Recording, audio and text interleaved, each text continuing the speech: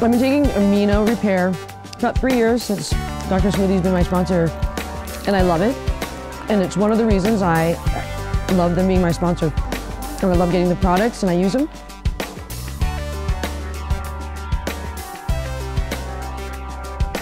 So um, for a long time, I've been taking Amino Hydrate and Amino Repair together. And I have my little system. I have my water, you know, like my larger size water, and I have a funnel, which makes my life much easier. I used to make funnels out of different things, but I just went to the store, you know, like the pharmacy or whatever, the CVS drugstore.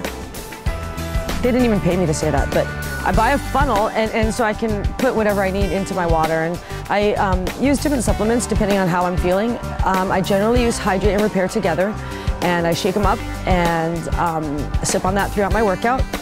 Um, lately, I'm starting again, going back to more repair, and it depends what I'm doing. You know, if I'm not training a lot or preparing for something, I don't uh, take as much of the uh, uh, repair.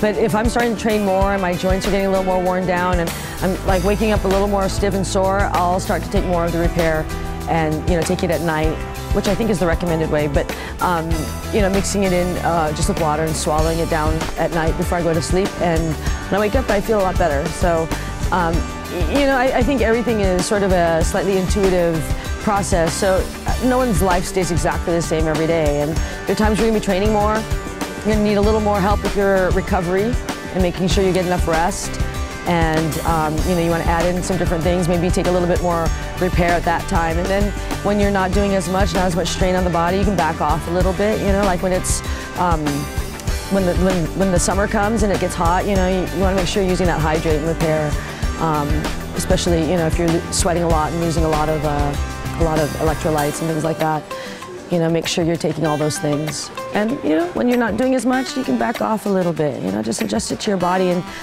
you know, I think the main thing is listening to your body and, um, you know, taking, when you take supplements, you know, seeing what happens. And if you like the effect that they're having, then you, you, need to keep using those. And if it doesn't really make sense for you, then don't use them. And, um, you know, Dr. Smoothie with their bio bars, with their 100% fruit smoothie mixes, which don't have any of the artificial sweetening and none of the um, high fructose corn sweeteners.